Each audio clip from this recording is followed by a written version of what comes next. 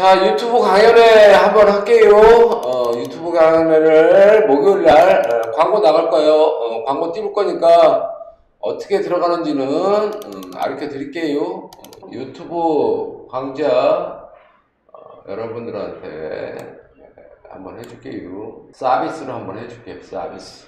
자, 유튜브 강좌를 어, 10월 8일 저녁 8시에 온라인 강좌를 여러분들 할 테니까 유튜브에서 어, 많은 시청 어, 해주시기 바라겠어. 가입 방법은 구독 옆 가입을 클릭 신청하시면 돼요.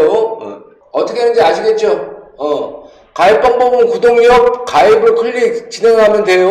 어? 어. 어, 내일 모레 저녁 8시 어, 온라인 강좌 어, 지수 하락을 대비해서 이제 조만간에 내 지수가 하락장이 나올 거 아니에요? 2600포인트 찍으면은 어느 정도 올라갔다 이제 내려올 거 아니야? 어? 그럼 지금 사는 종목이 어, 여러분들 지수가 떨어져도 어, 지금 장에도 올라가면서 어, 지수가 떨어져 떨어져도 올라가는 종목을 골라내면은 음, 편하겠죠. 그죠? 그런 유형의 종목을 어, 고르는 거를 어?